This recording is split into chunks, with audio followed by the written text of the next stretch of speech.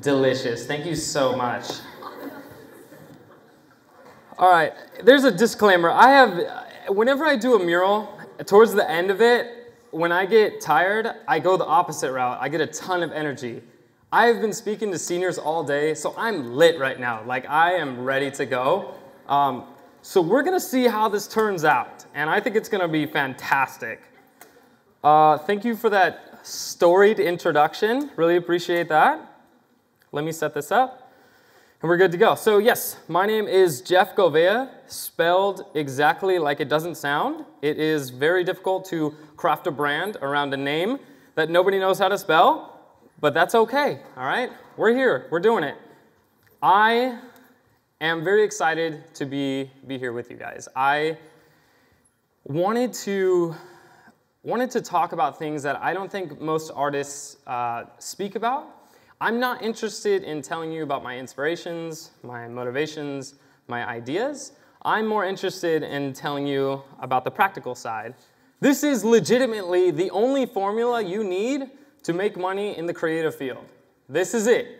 Goes like this make cool work, show it to cool people, meet new people, do it again, and then die. All right? That's just, that's just how it goes. That is the formula. So, our outline today number one, how to make money. Number two, how to get gigs you actually want. And number three, how to get better.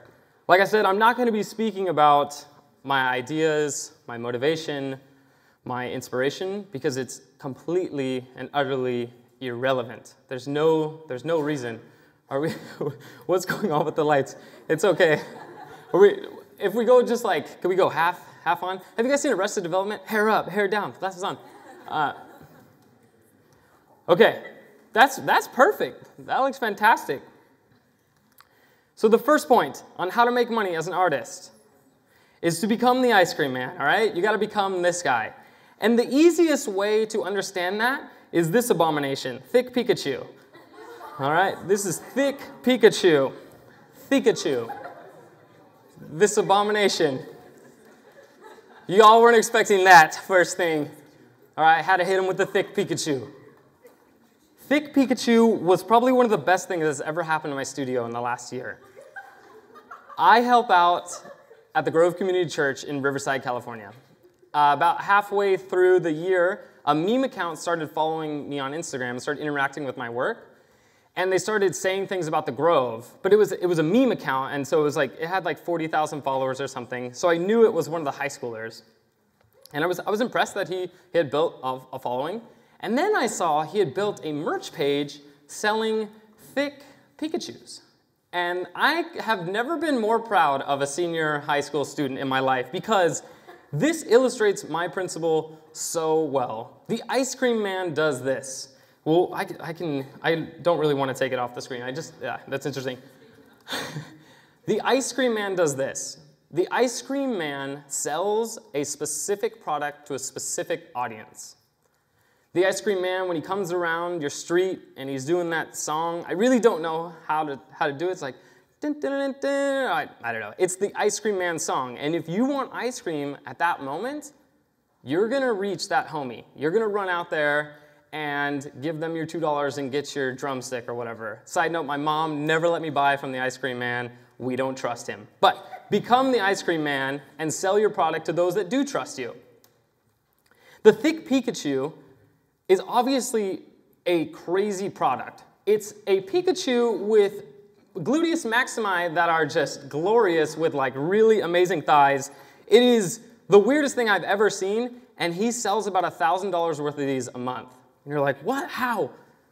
He commissioned an artist through Fiverr in Thailand to create the 3D rendering, and then he prints out the 3D models and ships them all around the world. it's, it's the best example of what the internet is, and yet so many of us in this room would kill to make $1,000 a month selling whatever we make. Consider Thick Pikachus. But the Thick Pikachu is really just a style. It, it, it's a style, it's a specific thing that he has crafted, and he's selling it to an audience that really wants to consume that. So the common questions around how do I make money, the next one would be, well, how do I get my own style? And then how do I become known for that style? And it's, it's really, really simple. You already have a style, whether you think it or not. And it might not look like this hammerhead shark with like a gold chain and uh, playing futsal. That's weird. That's my style. But you guys do have a style that each one of you, when you speak, your voice has a distinct sound. And that translates into your hand. It, it really does. And, and though it's not refined yet, it doesn't mean that you don't have a style. So, how do you start a style? Well, actually, first off, what is a style? Honestly, it's just this repetition and commitment to finding yourself. I think that that is the clearest way that you can find a style and also the fastest way to do it. You, you will see what, what, you, what you vibe with, what you don't vibe with, and then edit that stuff out, and then commit to putting, putting it out there. With the senior meetups that I had this afternoon, which I loved, like I really, really loved those conversations and had a great time doing it, common things were, were coming up. That even as seniors, we're still having issues with basic principles. And it's not, it's not their fault because it's a common thing that, that everyone across the spectrum has. And it really does come back to the ability to be in your craft every single day. If you have to put it at one thing, it's being in your craft every single day. And the way that you find a style is exactly that. So, how do you begin? Where do I begin? Where do I begin? And I would say you start at the beginning. The piece on the left was the piece that I entered into the student art show in 2012, and I lost everything. Like, I didn't win any awards. Nobody even knew what it was. It sucked. It was terrible. I don't even know what it is. It's like a guy doing like a like a something like this. I don't know. I was just just sending it. I really had no concept of what it was, but I knew that when I painted it, I was like, Geoff Gouveia painted that. You know, that's that's that's what the whole mark was. And I and I put on on there so you guys could see that it got a huge 15 likes. You start at the beginning. Like it doesn't matter about the about the accolades or if your work even looks good we can all agree that my work in the beginning is not great. Far from it, quite terrible, but you have to start, you have to start somewhere. This, this one on the right was one of my first murals that I had done. I had negotiated with my friend who owned a barn to let me paint murals on it. And so this is kind of like a quick side note because people ask me all the time, how do you, how do you get murals? How do you do murals? Um, nobody, nobody's willing to um, give me space. Why should they? Why should somebody give you a wall? Like, that's audacious to just even say. So you have to figure out a way to, to get it. In the beginning, I was doing a lot of pieces uh, unsanctioned, if you will, um, for the city of Riverside. I was going to a lot of abandoned warehouses and under uh, structures and things. What was already bombed and graffitied, I was then putting my flavor on it and creating characters. There was one night when I went out to paint. Um, hey, don't worry about it, it's okay. Um, I went out to paint in this uh, concrete structure. I had found it on the street. I was driving by. I was like, this is great. This is exactly what I need. I took my friend Colby. We went out to the, uh, the structure. And we're painting in the night. It's, it's a full moon, so you can kind of see. And I'm just like practicing some of my figures in spray paint. And then out in the distance, like we see the red and blue um, light up and it's coming towards us. And then um, I grab him, I grab Colby, and we jump underneath like this, because it was like concrete structures. And so we just jump underneath, and the cop car is like going around. And in my head, I was just thinking exactly what my then girlfriend, now wife, had told me maybe you shouldn't do illegal things. And she was right. That's why I married her. But it was, it was in that moment that I realized I should probably not be painting illegal things. This is, this is just not the path I want to go down. What I later found out was that that concrete structure was where the Riverside police uh, practiced their SWAT team um. So I was on uh, not only Riverside Police Department land, but I was on federal land. So I missed the sign that said huge federal offense, like now entering federal property. So I don't do that stuff anymore. But I negotiated for this barn, and that's really the beginnings of um, painting legally. Um, I don't paint illegal anymore, officially. Um, the beginning, when you're making money, you have to start charging something. And this is a quick side note on pricing. And I'm trying to get like the very basic things that you guys want out of this. Does my mic keep going in and out? What do I need to do to change that? Just freaking, just send it? Okay, all right, we're good. Just persevere with me, okay? Persevere. I I wanted to get out as quick as possible to just address the money issue, the pricing, because some of you guys sitting here, this is all you really need. And I wanted to get to you as fast as possible. So the way that you get good at pricing is you need to charge something. so you, you have something, let's say a mural. We'll go back to the murals because that's the easiest thing for me. That first mural you do, that first legitimate mural, you just ask for them to cover supplies. Geoff, I want to be paid for my time. Of course, you do. Yes, I get that. And we'll talk about that later, but you have to start somewhere. And so you need to prove that you can do a mural. So you get the supplies paid for. Then what you do is you go to another business and you say, hey, I just painted this mural for this plant shop over here. Can I do one for you? It's worth $300. You don't, you don't have to say that you weren't paid by the other one, but you, you, just, you just put a price on it. If they say, yeah, no problem, you know you charge too little.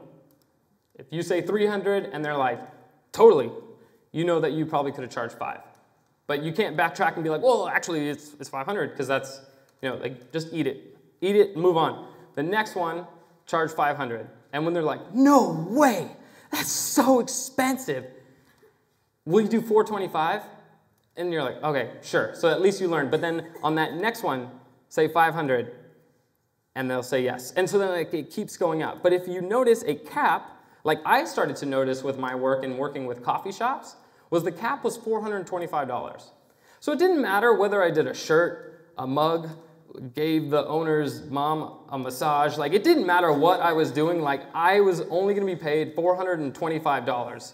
That's the max that I could have made at a coffee shop. I don't know what it is. Maybe you guys can make a little bit more on the commissions within it, but this, the coffee shop is the modern day skate shop, in my, in my opinion. They have really low budgets, but they're willing to do a lot of merch items. It's a good place to start. That's just free tip for all of you. But the budgets are not very high. So then I thought, well, what if, what, like, do you guys like this? I, I drew this and I'm like, I get paid to make drawings for a living and this is like the worst one I've ever done. But I had to do this on the plane. I had to get this. So I wanted to transition from coffee to soccer. I wanted to transition from coffee too specific. You guys are like, oh, a soccer ball. but you know what? Like, I could have changed it, all right? I have the ability to draw, but I don't need to prove anything to anybody. I'm doing it. I'm my own man. I didn't know at the time that I wanted to transition to soccer, but I thought, okay, I'm doing a lot of work for these coffee shops. I'm doing shirts, I'm doing mugs, stickers, graphics. Um, it wasn't just in the Southern California area. I was getting paid from sh some shops up north, uh, like around here, um, on the East Coast. So I was, I was doing well within the coffee scene, but it just wasn't, it wasn't that much money. So I, I thought, well, what, what could have a larger budget? And I was actively looking for that. And what, what I stumbled upon was actually my first passion. This lopsided kid is me on the Rattlesnakes. That was my first team. My dad was the coach. That's what's up. Football is life. I'm wearing a shirt that says Oakland Roots. I'm not from Oakland. That's just the name of a team in Oakland. I was in Oakland yesterday and the team gave me this, so I'm just like, all right, I'll wear it. It's free. That's what I want. You can go ahead and lower the volume. This was in 2014.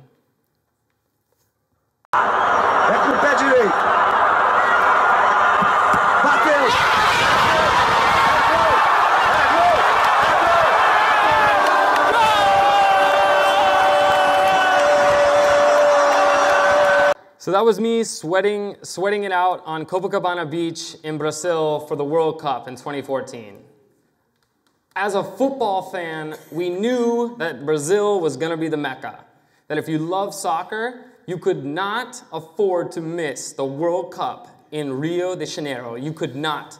You could not afford that. So we sent it. We did it. My wife is an amazing woman, and she let me go for three weeks, less than a year after we, we had been married. She did not come with me. She did not want to go. She just let me go with my friends. I don't know how I lucked out with such a wonderful woman, but she let me do this, and we sent it. It was one of the best experiences I've ever had.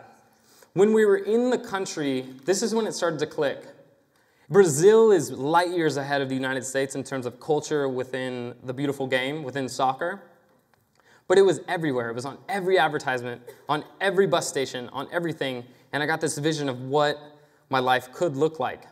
But I didn't really know how to speak that language, speak the language of transitioning from coffee to soccer. And I also didn't know how to speak the language in Brazil, Portuguese. I can speak a little bit of Spanish, and my Portuguese is really, really bad.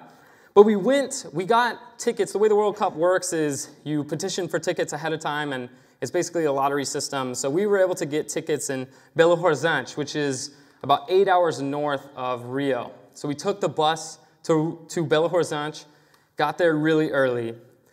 Now, one of my friends, the night before, we, we weren't like really partying, like that's not really our scene, but we, we had some street vendor drinks out, out in Lapa, and he did the classic international mistake. He drank with ice. So the ice, what they use is they, they, they chill their water that's contaminated. And it, I mean, not contaminated them for them, but for like people who aren't used to those, those cultures in the water, um, you can get sick. So homie Bradley is looking really pale. I mean, he's already pale. He's like 100 pounds. He's, he's just a little guy. But he was looking really bad when we got when we pulled the bus in at 6 a.m and we're like, oh, let's just go to a McDonald's. Let's go to McDonald's and get him some food. So we're in the McDonald's and he puts his head down on the, on the table after he orders. And then all of a sudden he lifts his head up. He's like, I gotta go to the bathroom. I'm like, all right, go, go ahead. So he go, it's a two-story McDonald's, which is weird. I don't, I don't know why it needed two stories, but it had them.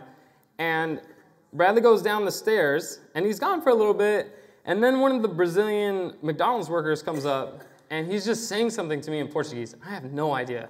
But I know he's saying amigo, which means close to amigo, and that is very close to that. He's talking about my friend. He was asking me like, basically, what's up with your friend?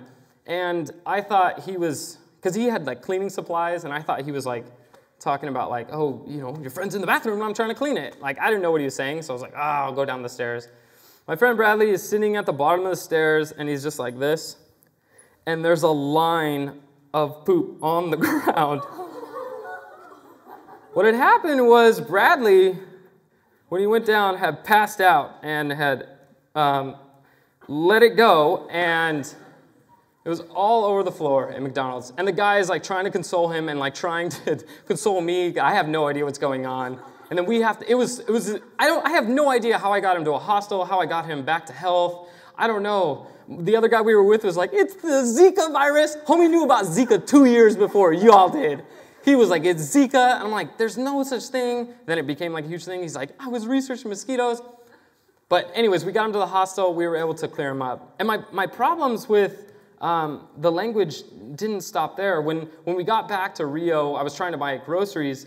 And I asked the woman, like, tem huevos, which I said, do you have testicles. And I, what I had asked, what I had wanted to ask her was if she had eggs. And she just laughed at me and like just gave me this like look like what's going on.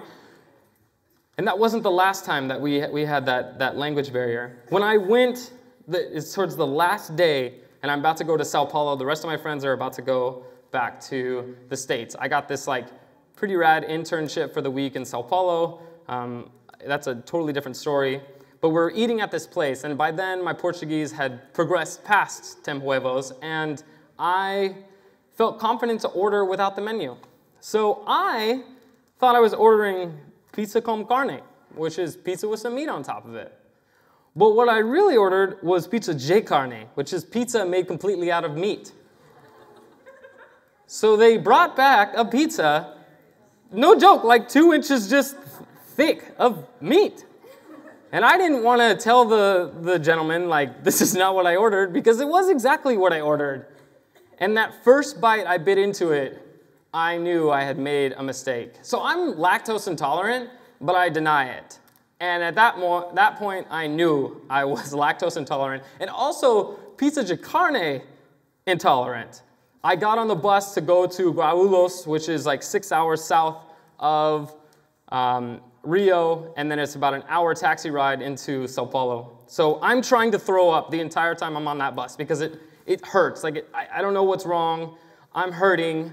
I'm alone. I'm scared. Um, this older Chilean woman gave me a, uh, like a sweet, like a, like a candy. She was just, she became my grandma. She, she, I just looked terrible. And I was like trying to throw up, but it couldn't happen. And I thought, okay, like I'm gonna be able to keep it down. But I just felt bad. So I, I get out to the taxi station. I, I meet up with a, a, a guy. I, he says, I look Chilean, so we start talking in Spanish. Um, he's going to a near destination that I was in, Sao Paulo, so we share the taxi. We get in the taxi, I close the door, the, the taxi driver starts the car, and all of a sudden he smells like bacon. He like he just smelled just like bacon, and I just rolled down the window and just threw up out, outside of the window. And that that was like the perfect example of because I couldn't speak the language, I couldn't articulate what I wanted. And when I couldn't articulate what I wanted, I got what I had asked for. And this is my roundabout way of saying you get exactly what you ask for. In the creative field, you get what you ask for. And if you cannot articulate it, nobody will give it to you. This is something that, that I really noticed when I was when I was speaking with the seniors today is we do have this this this problem with saying exactly what we want. We say things and they don't mean exactly where we want to go. So, the way, this is a side note, the way that I think that you can overcome that is to know yourself. The way that you know yourself is through writing. I think writing is the foundation of all creative pursuits. I really believe that. I believe that writing is the number one way to grow as a designer, as a photographer, as a human, just, just anything. If you know yourself, you'll know what you want, you know where you want to go, you know you want to know what to ask for. My wife, this is us in Norway uh, this last summer. Uh, she is a speech language pathologist. She's way smarter than I am. But she works with, she works with students on their speech language goals. And one of the, one of the groups of kids that she works with have um, moderate to severe um, disabilities with, with speech. And one of the boys that she was working with can't say, can't say anything, doesn't say anything, doesn't communicate at all. And the goal, because I was asking her, I'm like, that's, that's got to be incredibly difficult. What is the thing that the parents want for that child? What is the one thing? Because they know it's not going to be like a, a normal life. That, what is the one thing that they want? And she said, my wife said, they want to be able to communicate with yes or no questions because then it would allow them to have some system to create. And what my wife was able to figure out with the help of one of her colleagues is that the boy, well, he can't say anything, the homie loved chips, like he loved like potato chips. And so my wife gave him a keyboard and he was able to type chip like without prompting. Like he could he knew what it was, he just couldn't say it. And then once they had that communication, he started asking for Takis. Like he just like he was asking for specific types of chips. Like unlocking the ability to communicate. It's such a powerful thing when we can articulate, this is what I want. You know, and that's an extreme example that this boy will now be able to you know, like they'll, they'll have some semblance of communication, which is amazing, but they're able to communicate. And the questions that, that come about from this is well, how do I even find the people to ask these questions of? How do I find the people who can unlock these things? Let's say I know how to articulate what I want. Who the heck do I tell? Because it's not my roommate, because they don't care. How do I pick a market to focus on? Like, how do I, how do, I do these things? Well, let's learn from this crusty guy. So, this is Mark Twain. Mark Twain, he wrote for the Sacramento Union, I believe is what it's called. I always get it mixed up. It's like either the San Francisco Chronicle or the Sacramento Union. But in, in his early days of writing, he was a really bad journalist because he would get bored and he would make stuff up and embellish the stories and just create what he wanted ultimately. So he was getting really bored on the job. He was working for the Sacramento Union. And there was the first ocean liner going from San Francisco to Hawaii. So he wanted to document this cruise that was going to happen. It was the inaugural steamboat cruise that was going to go across. He pitched that to the Sacramento Union. Sacramento Union said, no. He missed out on it. A year goes by, the second voyage. Mark Twain pitches it again. The Sacramento Union this time says, All right, we'll pay for your way. So he goes to Hawaii. And when he gets to Hawaii, what he doesn't realize is about three weeks earlier, off the coast of Chile, because of the way the currents push, the USS Hornet had caught fire and sank. And about 30 crew members are now drifting towards Hawaii, unbeknownst to Mark Twain. This serendipitous moment, this crazy story of how the, the boats are, are huddled together. There's three boats. The captain, in order to save them because their rations are so low, straight up cut the other two, let them float off, and the captain had to keep going. Like it was this crazy story of borderline murder and starvation, and the, the crew lands on um, Hawaii. Mark Twain is there, tells that story. He sells it back to the Sacramento Union, and this is what he first starts speaking about starts his speaking career, which launches his literary career, which is why we read Huckleberry Finn in fourth grade. So, who do you ask? You ask whoever you have access to, and you just articulate it. Now, could Mark Twain have understood that this voyage was going to change his life? No way. But he had the courage to ask. And the, my favorite part is he asked again, because that first time they said no. So, going back from coffee to soccer,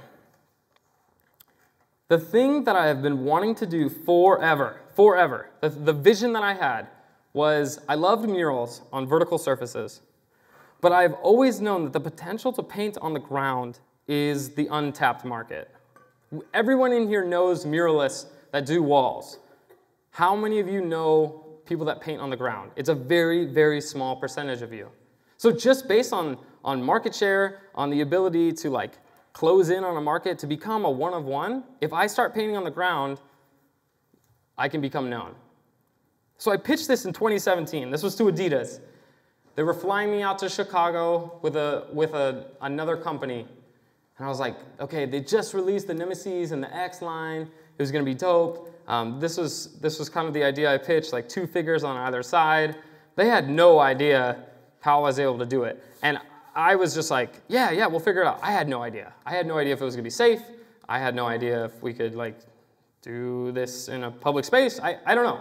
But I just pitched it to them and they responded with, no way. Like that's way too hard. That is way too hard. We only have like two weeks. If you start working with big brands, you'll realize they do everything so last minute, it's crazy. Like they'll hit you up and be like, we need this by tomorrow. And you're like, okay, I thought this would, you know, at least give me a week. But with this, it was just too hard. So the project died. Instead, I went out there and instead of doing the thing on the ground, I did a six by four foot canvas and I felt like an idiot. Like I'd gone all the way to Chicago, wasn't really making any money on the deal because I had dropped my rate so low to push the, the court through. So I'm flying across the country, basically on peanuts, to paint a four by six painting that I thought was gonna look stupid and I didn't really like the way it came out. On the back end of that trip, I was gonna go to Philadelphia and then New York. So Philadelphia, I was gonna paint for this company called Live Breathe Football, and that was where I was like making some of my money. They were they were giving me like a little bit a little bit of money to to cover the majority of what I was doing. But the reason that I really went out there was to connect in New York. And I had this vision of painting for this freestyle competition. And when I got there, it was nothing like my vision. I was, I was supposed to be drawing on, on glass while the freestyle competition is going on behind me.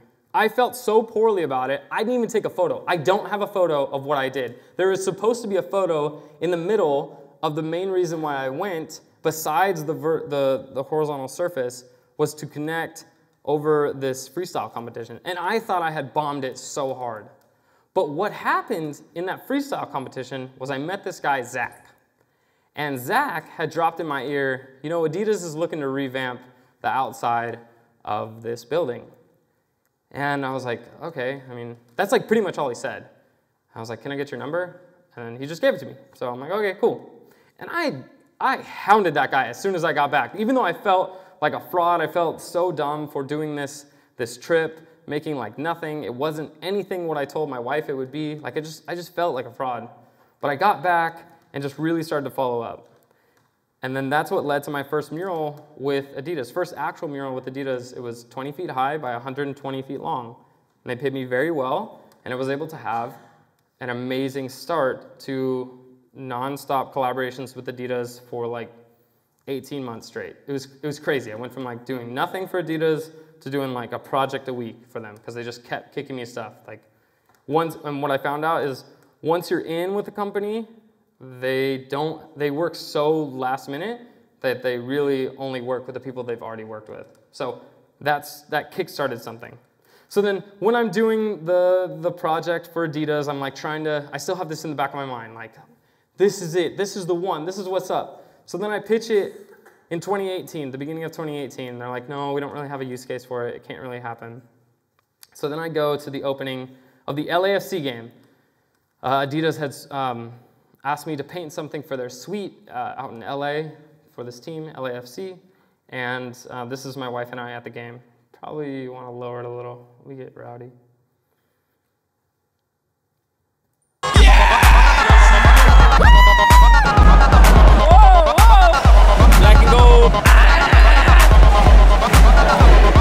So we need this we need this we need this okay so behind me, behind that beautiful mouth, is a guy named Rob. Uh, Ellie from Adidas said, hey, you need to meet Rob. I think he might be interested in your, your, your court project. I was like, all right, cool. Turns out Rob is in charge of U.S. Soccer Foundation, and their main initiative, and I knew this, I just didn't know it was Rob, is to put in 1,000 small-sided mini pitches around the United States by 2026. And they had a project coming up in Watts, California, that they needed somebody to paint on the ground.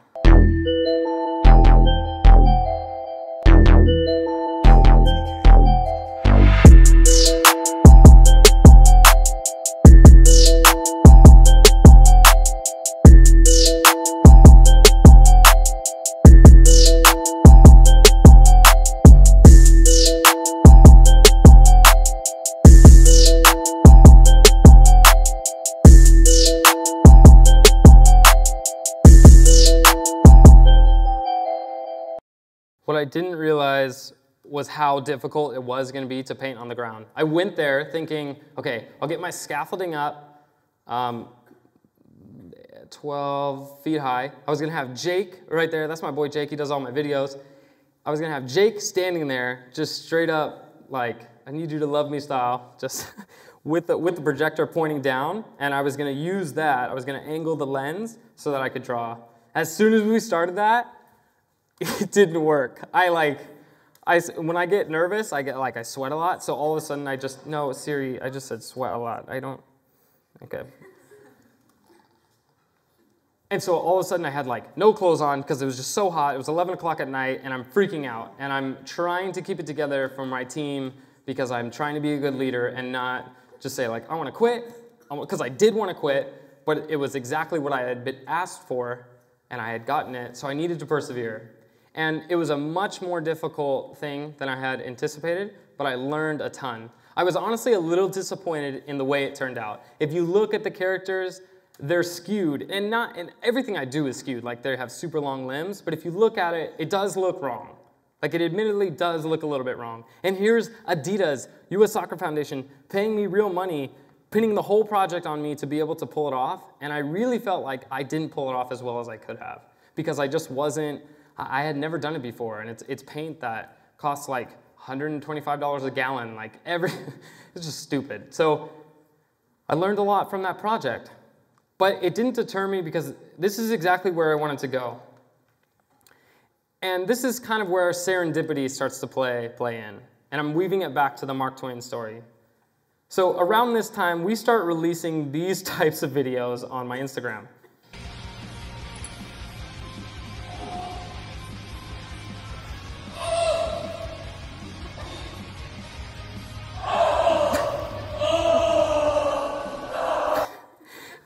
We, we, we call them hidden camera skits. And they do really well. Like I get like six to seven times more views based on, on these videos. Um, they're loosely based around art. Here's another one. I love this one.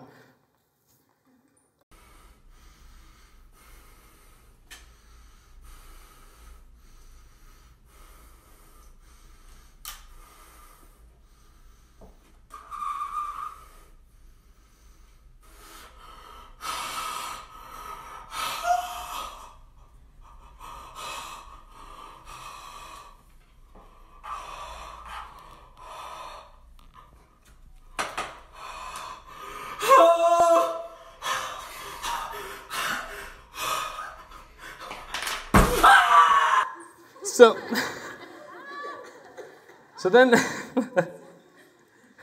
have you guys ever had a speaker show these kinds of videos? Then we posted this one, and then, yeah. Can you believe she left me on red?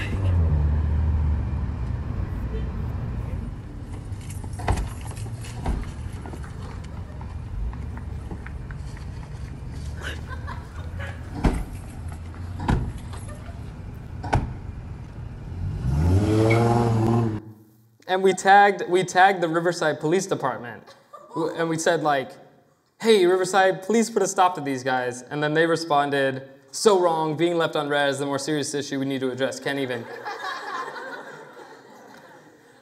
and that day, that day that I posted that, the guy who was coming to my studio, I had just done a shirt for. I had just done a shirt design. I was a back hit. He was paying for a local high school soccer team. They had just won CIF, which is like I, I don't know. I don't think they have CIF here. I'm pretty sure the C stands for California. Anyways,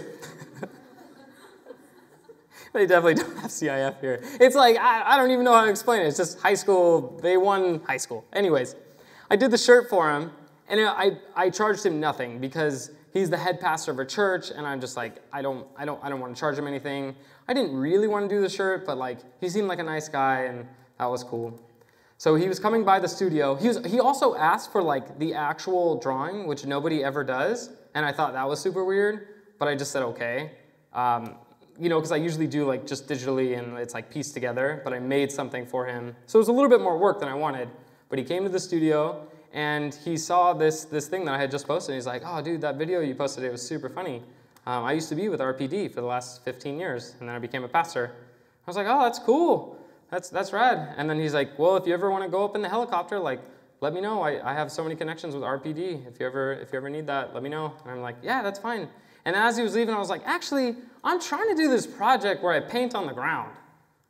I don't know why I said it. I was just like, I'm trying to paint on the ground, like the ground. And he, because every time I say it, they're like, oh, you want to paint large? Like, you want to paint the side of a building? I'm like, no, the ground, the ground. And he, and he said, okay, let me call my dad. Turns out his dad's the councilman of the district. Calls his dad. His dad's walking down the street.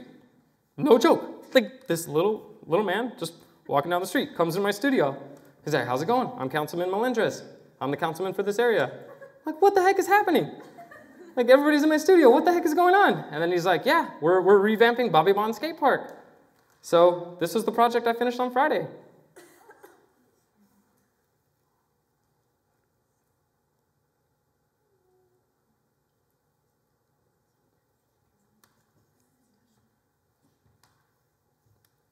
Pretty large.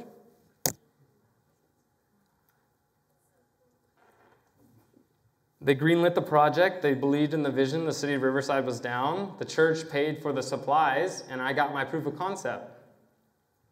As I'm painting this project, the thing that I'm working on with Red Bull, they're like, well, let's, let's do something with this. Like, let's fold this into something in the future. So I needed a test case. I needed a voyage. I needed to go. I needed a story. All the serendipitous things that came along the way, all these, all these years of like trying to get this off the ground. And I do this project, and now I know things will open up. So tomorrow when I get back, we're starting on the basketball court over to the right. That's the second one. I throttled it that way on purpose because there is something to be said about momentum. When people feel like you're absolutely just crushing it, doing project after project after project, they want to kick you more things. People always bet on the winning horse. Like the horse that looks like it's already winning, they want to put more money on it. So, how did this come about? Well, I did it for free. I didn't make any money on this project I just finished on Friday. None.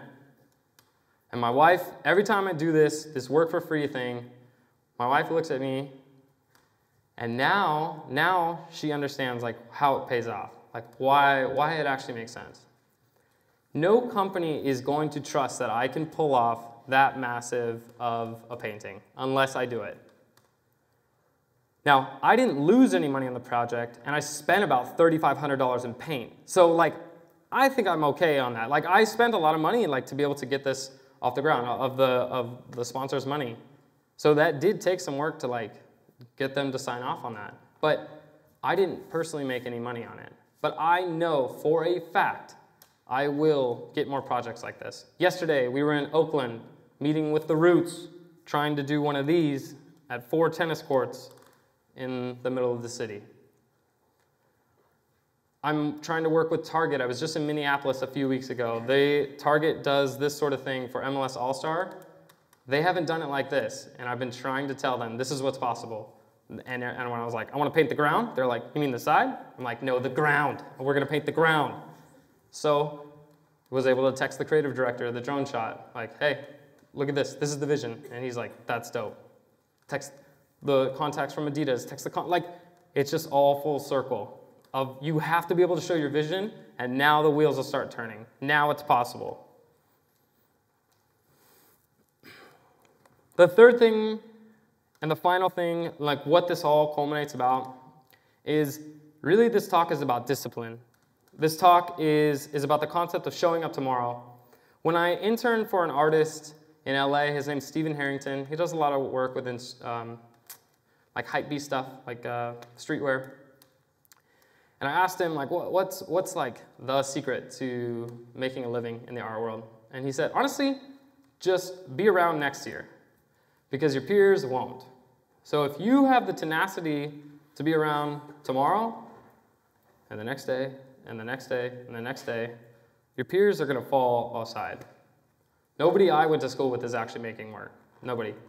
I was the worst in my class in high school. None of them are making work. It's really hard. But if you have the ability to be disciplined, to show up, to keep doing it, money will come. I, I promise. And the, the question around this is well, how do I get better? Because I don't just want to keep showing up and, and not get better. And really, the answer to that is falling in love with the unremarkable.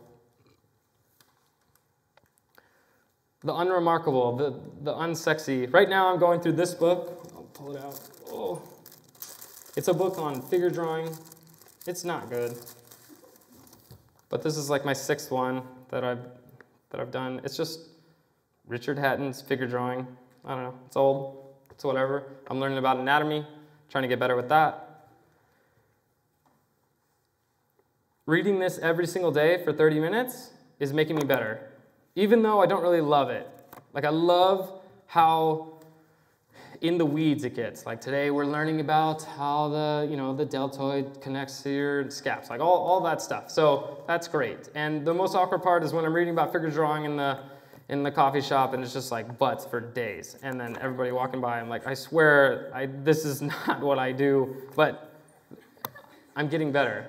I'm falling in love with the act of learning, really falling in love with that, falling in love with the act of grinding in drawing. My creative practice looks like this.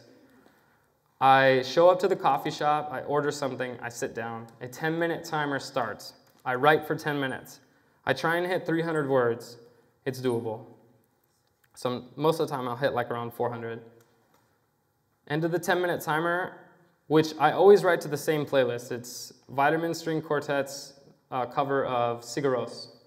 So you take a really weird thing and then add, add violence to it. It's like creative. Then I do a 30 minute playlist that's uh, Vitamin String Quartet covering Bon Iver, like their, some of their stuff. And I read to that. And when, that, when that's done, it starts a new 25 minute timer that I'm always changing the songs to. Um, but right now it currently starts with Megaton Mile by Local Natives and ends with Middle Child by J. Cole. So it starts soft and then it ends a little bit hard. Uh, it's so that I can just keep up the pace. But I do this every day, no matter where I am in the world. That's my creative practice. If I do that, I'm an artist for the day. And really, your input is your output. Whatever you're putting into yourself, you will get out of it. If you're putting discipline into it, if you're putting in good habits, if you're constantly learning, you will have good, nuanced work come out of it. It's like every single person in this room understands fitness. We all do. It's not difficult to tell me how to get a ripped body, it's not that hard. You know that in order to lose weight, you need to eat less than you're spending in calories. So if you're in a caloric deficit, you will lose weight, just guaranteed. That's just a fact. And the way that you get stronger is you go to the gym. that, is, that is just it. But those two facts are, are things that when you look around, like, well, we all don't buy into that. That's not something that that we're doing because that takes discipline. That's a different that's a different input. But if you can change your input to focus on the most simple things, if I draw every single day for 20 minutes, I will get better. It will compound, I will improve. And the way that you, you do that is changing your metrics of success. When you draw something, you need to change the idea of good versus bad. Meaning, the default when we start drawing, we draw something on paper and then we show it to mom and dad and say, Look what I did. Is this good? And mom's like, Oh, yes, that kitty cat is amazing. Or whatever you drew, the bison or whatever. I really liked drawing Vikings when I was like eight. I don't know why. But your mom and dad tell you that's a good job. And so then we take that into school, we take that into high school, we take it into college. We're asking our professors, is what I drew good? Do you rate this? Is it good? Is it bad? And my pushback on that is what does it matter whether I think it's good or bad? Like, what if I'm not your audience? Do I really care what you guys think about my work? If you're not in the soccer realm, like, I'm never gonna make money off of you anyways. Like, what is it? What does it matter? What you don't like my work? Okay, fine. Like, that's okay. You're not my audience. But the way to start measuring that is getting away from good versus bad to done versus not done. Did I do something today? Success. Did I not do something today? Failure. That's it. Keep the, keep the measurement that simple. Did I draw for 20 minutes today? I'm an artist. If I didn't, I'm not. Like, keep it so simple. And keep the times really low. Obviously, to get really good, you're going to have to put significant amount of time, and 20 minutes may not be enough. But 20 minutes is the place to start, and that's how it's done. So going back, the formula is make cool work, show it to cool people, meet new people, repeat until you're dead. And that's it. Thank you.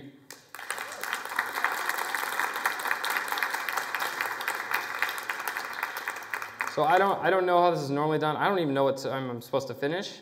Do we have like time for questions? 10 minutes, okay, and then we're getting like steak or something. I don't know, sushi. I don't know.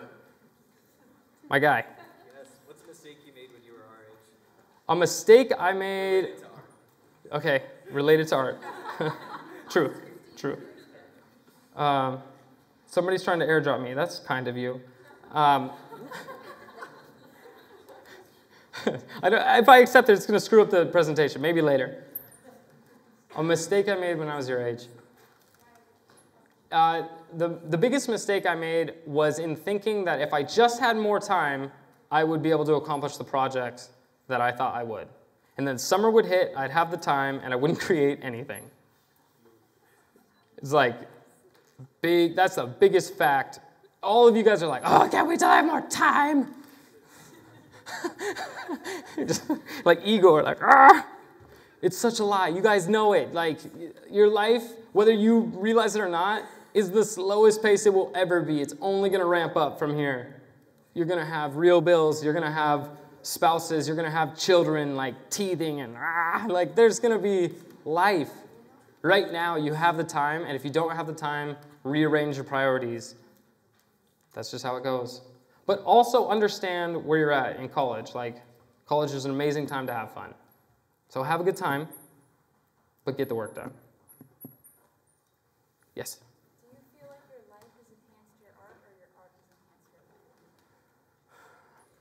That's like a haiku. Has my life enhanced my art or my art enhanced my life? This is a good question. I I'm very bad at having boundaries. Like everything is just melted together. I love traveling, so I just figure out ways to apply it to art. And so in a way it's like well, I'm traveling to do art, but I love traveling. So is, is my art enhancing my life or is my life enhancing art? It, it's like both, I guess. Um, I do know that I love people more than I love art. That's just a fact. If somebody's in the room, I'd rather talk to them than draw. So I would say life influences art. Final answer. Aspen, that's my girl. Go ahead. Um, what, five what? Five? top five priorities? Well, okay, be my wife. Ah. Uh, I'm trying to rate them, Aspen. We got my wife, obviously number one. If I didn't say that, I would be done. So we got Kels, of course. Uh, I think right now, as it goes, like I love my team. I love the team that I have uh, back in Riverside. I mean, Jake's on it. I love, I love them. So I, I, in in a weird way, like I'm creating jobs to provide for my wife, but now I have this like fire, like I want to keep employing them. So I want to figure out how do I make more money? How do I get them more money? So that's a, that's an honest honest answer. Uh, third one would be uh, church is a huge priority for me. I lead a small group. I help out with high school. And then fourth would probably be art. And fifth is like health and fitness. Yeah? I got it. Okay. Questions? Yes. So do you ever find yourself experimenting constantly, or is there something that like stays constant throughout all of your work? I know you like people, but like, is there something like, you know, consistent I, theme or motif? There is, I, so the greater motif or theme of my work is connecting with people. But as I was explaining earlier to, to some of the seniors, is I haven't done an amazing job at showcasing that in the actual work. In a way, I do feel like painting on the ground is full circle because when I paint on the ground, if I, if I showed that um, video back, there's kids skating on it. And so in a way, they're interacting with the work. And, and through that, they're connecting with me. And I love that, that meshing of where does the audience end and my work begin. And so that's kind of like where it's, where it's exploring.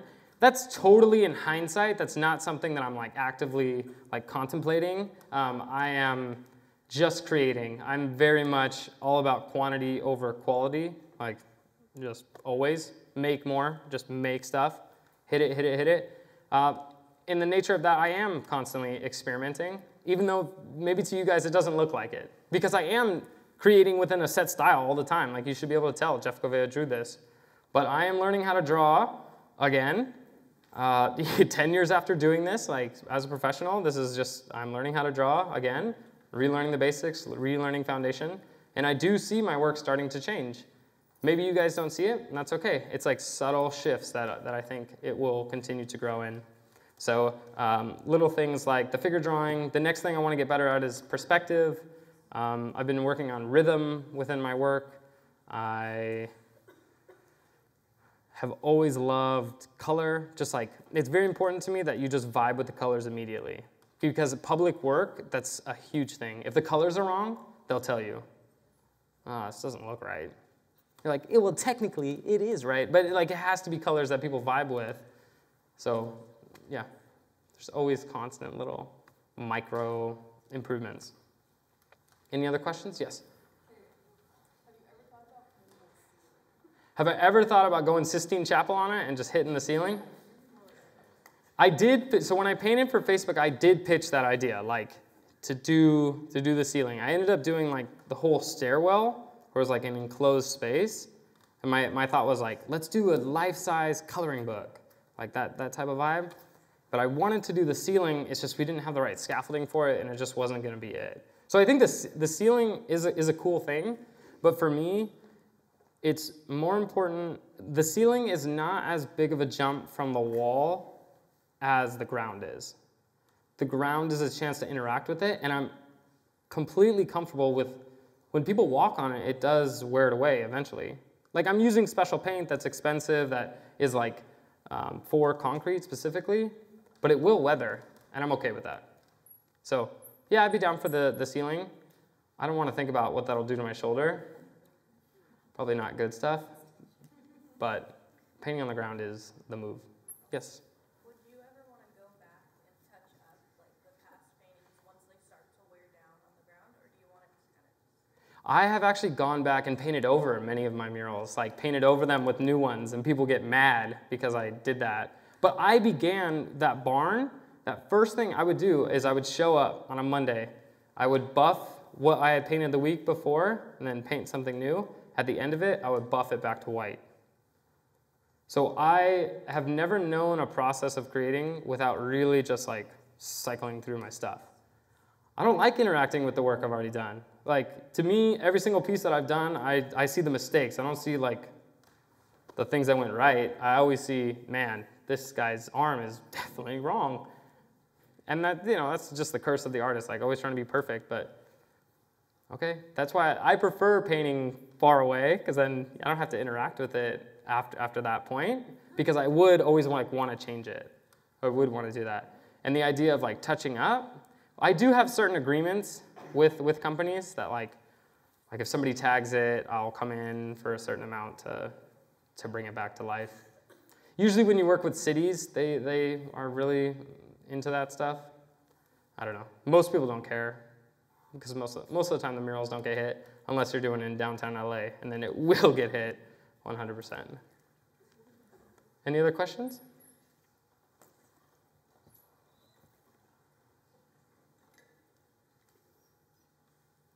All right, you're all dismissed. All right.